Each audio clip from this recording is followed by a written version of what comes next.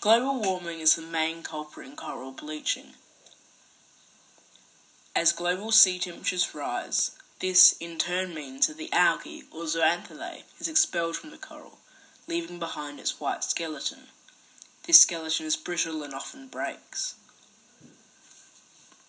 This results in a loss of habitat and a mass destruction of the ecosystem, and the fish lose their home.